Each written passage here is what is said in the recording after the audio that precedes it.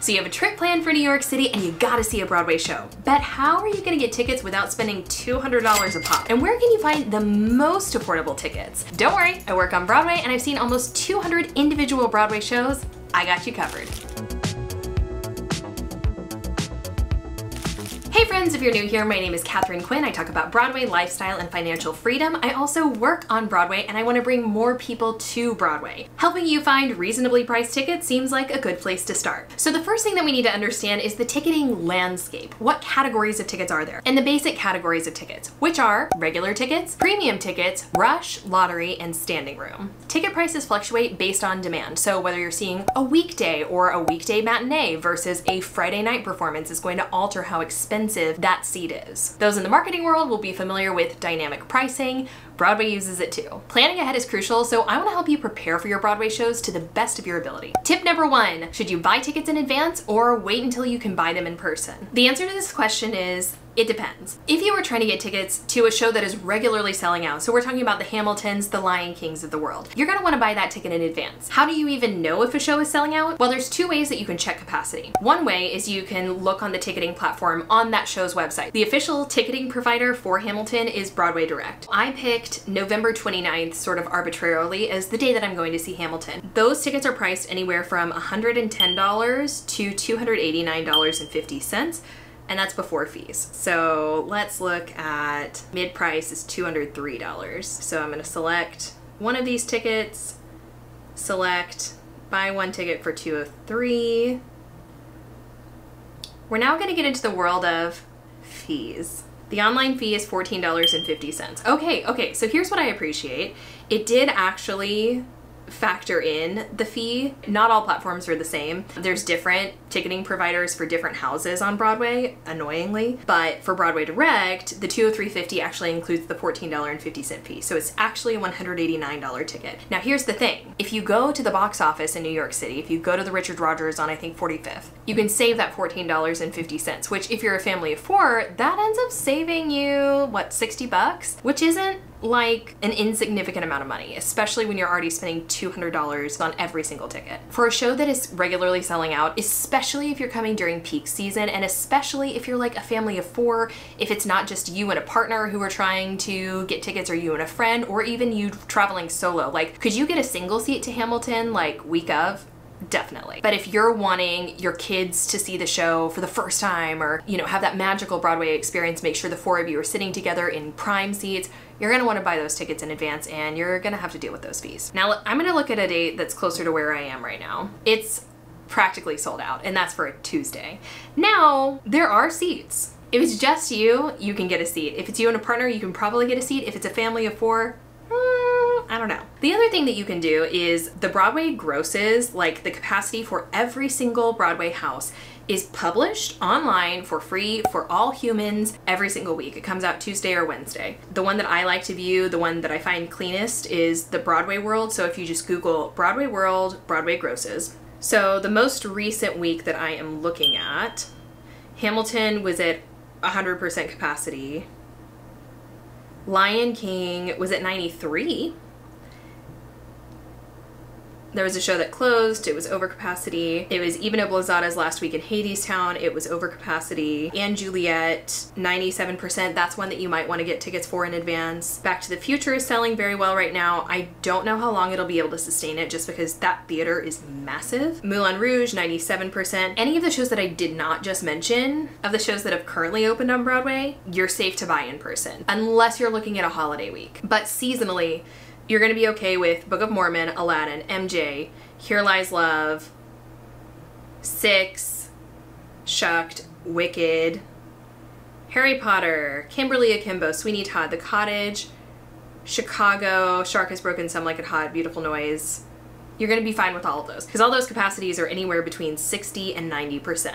So there's 10% of the seats minimum remaining for any of those shows. So you could wait until the week of. Now, the reason that I like waiting until the week of is I like to save the money on those fees. I can't stand spending an extra $20 on just like online ticketing fees. It's infuriating to me. If you're wanting to hedge your bets and save some money, buying tickets at the box office is actually one of my favorite ways to buy tickets for Broadway shows. And we will talk a little bit more about why and how I think that some of the discount sites aren't actually saving you money in a little bit.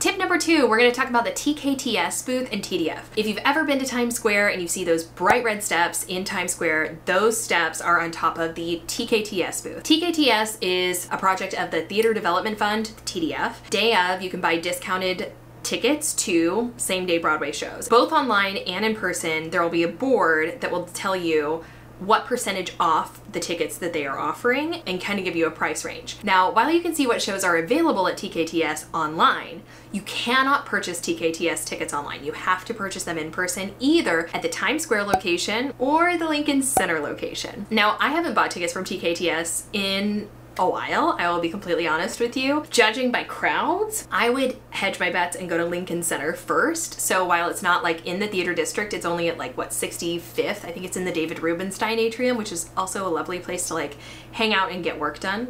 Bonus pro tip, I would try to deal with those crowds. I'm very grateful for TKTS. I have seen many a Broadway show as a result of TKTS. It's not like maybe my number one right now, but I highly recommend it, especially if you're not a member of TDF. The Theater Development Fund is the organization partnered with the Broadway League that offers TKTS. TDF offers a membership. Now, the membership is available to industry professionals, art students, arts teachers. I have been a TDF member for, I think, about 10 years, and it has paid for itself so many times over. Uh, a TDF membership is only $42 as of the time that I'm filming this video, and every single ticket is like $62 or less for Broadway, off-Broadway concerts, ballet, you name it, arts events all across the city. It's incredible. I love TDF. I feel like it's one of the industry's better kept secrets that like anybody who works in theater could get a TDF membership. I hesitate to share it because I have so loved getting my tickets that way and I'm like, they can't, I don't want to create more scarcity, but also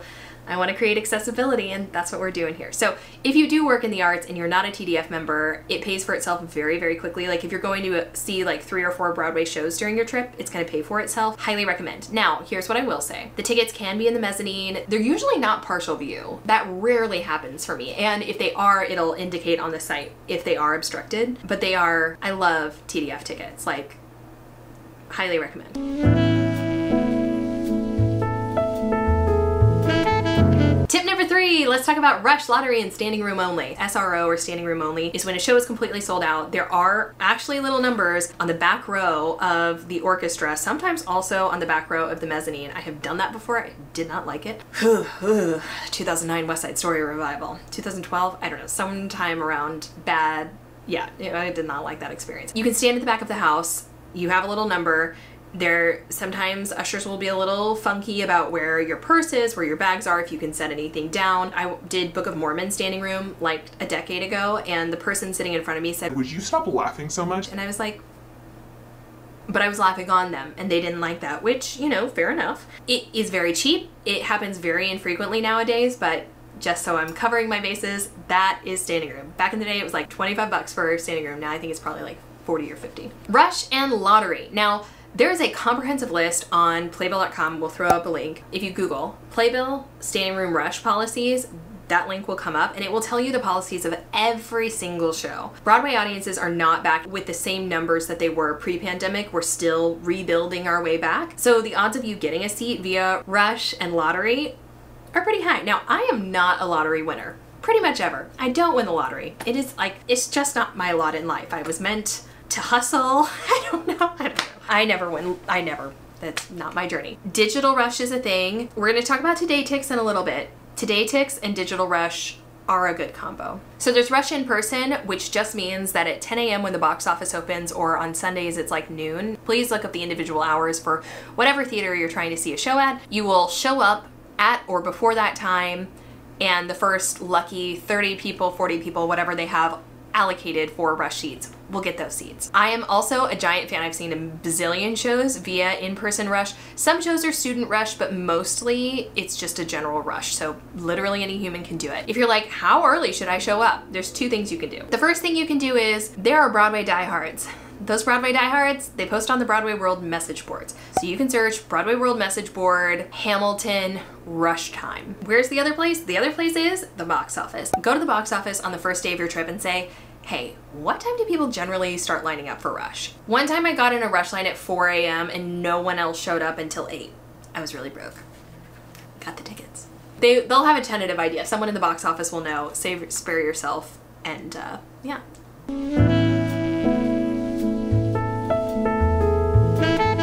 This is tip number four. We're gonna talk all about TodayTix. I have some mixed feelings about TodayTix. Today Ticks doesn't always save you money. For those of you who don't know, TodayTix is an app that you can use on your phone where you can buy discounted Broadway tickets. Now, here's the thing. The fees are astronomical. So by the time that you have purchased this discounted ticket and paid the extra $20, it's not actually cheaper than if you had just gone to the box office and picked out whatever seat you wanted. Okay, so we're looking at Shucked. They're saying they're having a back to school sale during the month of September, Wednesday, September 27th, 7.30 p.m. Okay, they're factoring their fees in. They did not used to do that, so that's smart. $62 including a $13 fee, and they now have an approximate view. Okay, so this has gotten better. You used to only be able to look at a view from your seats from literally viewfrommyseat.com, which I still recommend as a resource, and it is more accurate than this. And you don't get to select, so am I gonna get to select my seat? No. It's just like rear mezzanine, and it could be like the last row of the rear mezzanine, who knows. So then let's go to the Shucked box office through Broadway Direct, which is the official ticketing provider of Shucked. It's going to be $59 for the ticket and $10.75 in fees, so $69.75 total. Okay, so TodayTix, if you're doing the back to school sale, will save you $7. Now let's look if it's not the back to school sale. So I'm now picking like October for the same seat. Now rear mezzanine is $72.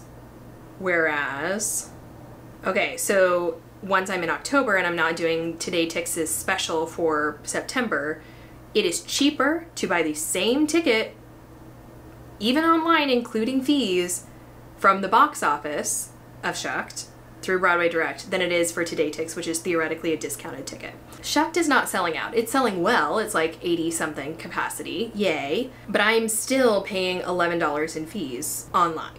I could save that $11 if I went to the box office in person and just pay $59. So just to lay it out, for the same seat, it, at the box office, that ticket is $59. Through Broadway Direct, Shuck's official ticketing provider, it's $69.75.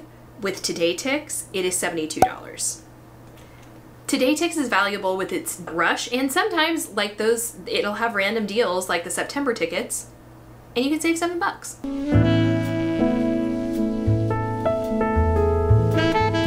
Tip number 5 for Lincoln Center and Roundabout, they have their own internal programs.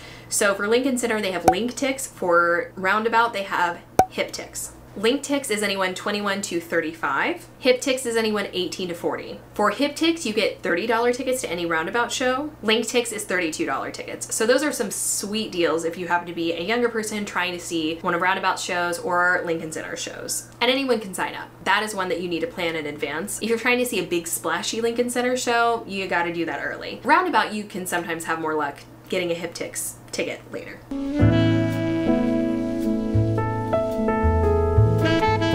My sixth and final big tip is dynamic pricing for seasonal and off-peak times. So I mentioned this earlier, but weekday matinees can be cheaper. You'll get a sense when you look at the calendar, but if you can plan the harder to get tickets on easier to get nights, you will save money. Does that make sense? So see Hamilton on a Tuesday, see Hamilton on a Wednesday, save Friday night to see Shucked, Some Like It Hot, those are your weekend shows. It's gonna save you some money because the range really varies in terms of ticket prices. So the last stats that the Broadway League published in terms of like how much Broadway tickets are for the 2018 to 2019 season, the average ticket was $145. Now I guarantee you it is higher now. So I'm gonna say 170 is the average Broadway ticket price. I see so many Broadway shows. I try to see every single show that's on Broadway if I can, and I also try to never spend any more than $70 on a ticket. It is totally, totally doable. Have I spent $140 on tickets? Absolutely. For Sweeney Todd, for Parade, for Merrily We Roll Along, those were over $100 for me. I'd say my average is probably 70